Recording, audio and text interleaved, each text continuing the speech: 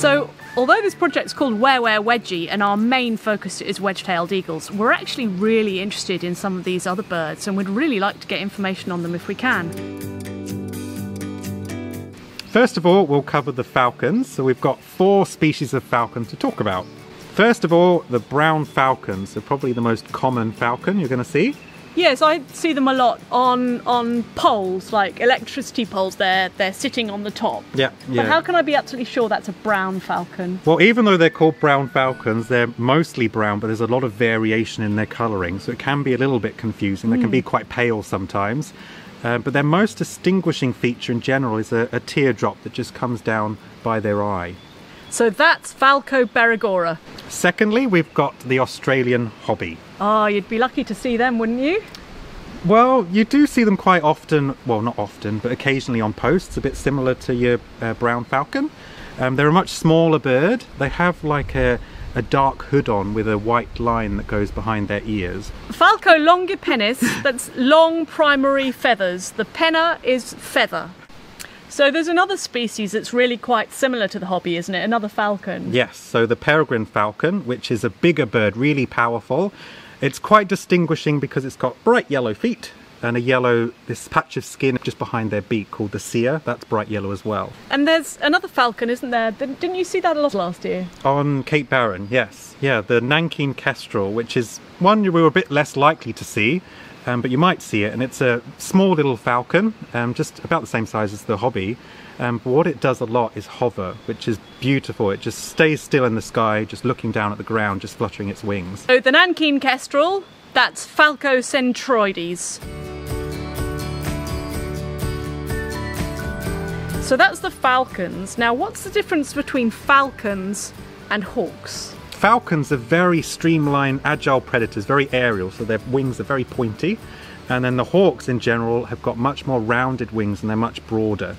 So they can they're similarly sized and they can still very effective hunters, um, but they're adapted in a different way. Hmm. We'll start with the really pretty one, Oh, my favourite. the grey goshawk.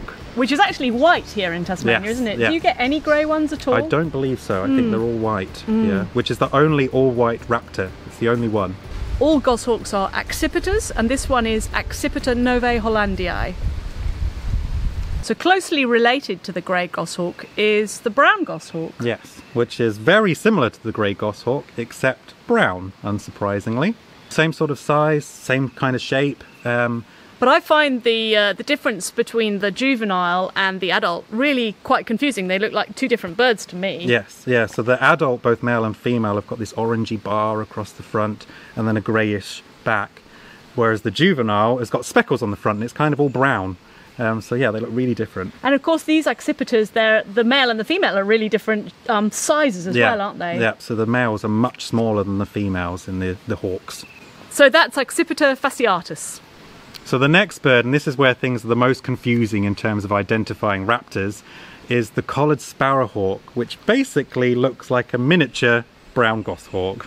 The sparrowhawk has a very square tail, and the brown goshawk is round. So that one is Accipiter cirrhocephalus. We're going to get bigger now and to a bird that is really quite commonly confused with wedgies if we're not careful, hmm. the swamp harrier. Yes. Uh, if if you're you're doing a survey called Where Where Wedgie, you really want to see an eagle, but you've got to be careful that it's not actually a swampy. Yes, so they they are a bit smaller than a wedge-tailed eagle, but when you're looking at a, a bird far away, it's difficult to tell how big it is. But one of the most distinguishing features of the swamp harrier is its white bums, the base of its tail feathers. There's an obvious white spot that stands out. It's white rump, right? Rump is the correct, not bum, but you know.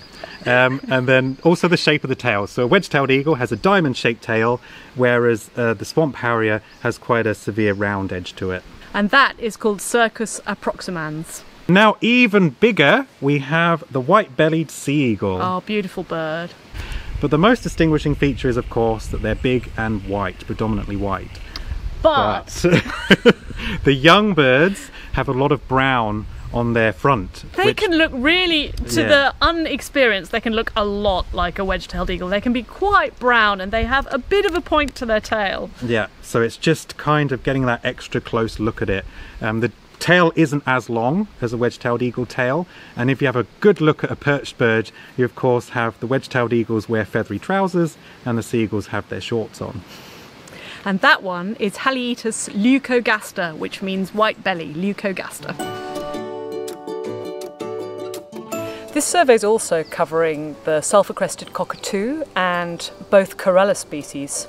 Uh, there's the impression that these species are increasing in number um, so we want to look into that. And also, it's really worth giving any old white bird a good look because it might actually be a grey goshawk. Now the sulphur-crested cockatoo has a lot of white on its body, but it also has quite an obvious yellow colouring on its underwings, under its tail, and of course the yellow crest on its head.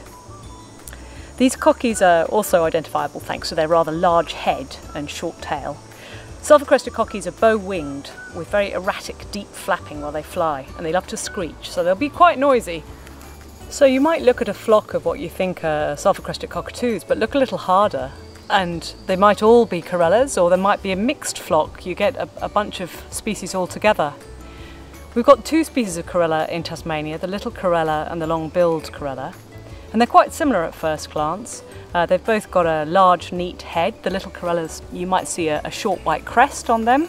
Um, they've got subtle yellow underwings, both of them, and under the tail. Uh, the little corella might have a slightly longer tail than the slender billed, but uh, they're neither of them particularly long. Uh, the wings are somewhat tapered, and they've got steady, strong flapping.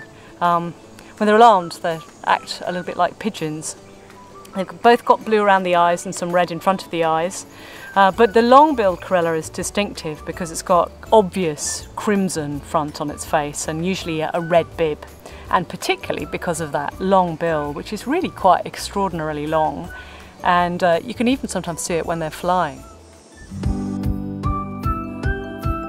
We've got the one left, the wedge-tailed eagle. I'd really like to talk about a question people ask me all the time, which is about the wingspan, the length between the two wingtips when they're stretched out. The biggest confirmed, it says confirmed, but it was from the 1930s, I think, where a bird, a female bird that was two meters 84, which is wow. huge.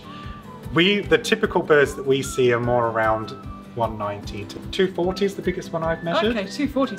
So still taller than us. So here it is, the Tasmanian wedge-tailed eagle. This one sadly isn't alive.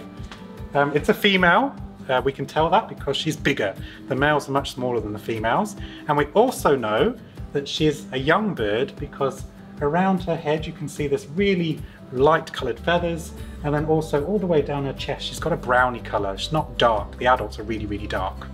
So around the back here is where we can see the most distinguishing feature of wedge-tailed eagles, the tail. So we can't see right now because the eagle's perched, but if it was flying, the tail would look really long and wedge-shaped like a diamond. So even if you're really good at identifying birds, sometimes you just don't get a really good view. And of course, some people who are taking part are brand new to this. And in both cases, it's really appropriate to be very accurate in what you're seeing. It's actually really important for the survey. Uh, so only record to the level that you're sure of. If you weren't able to clearly identify the bird, um, an identification of something like eagle slash swamp harrier is completely appropriate. It's much better for the science. Um, as you can see from some of these pictures, it can be really challenging to identify birds at a distance. Remember, wedge-tailed eagles are really hard to spot, so the chances are you might not see one but the important thing is you get out there, you have fun, you do the survey and you tell us what you see.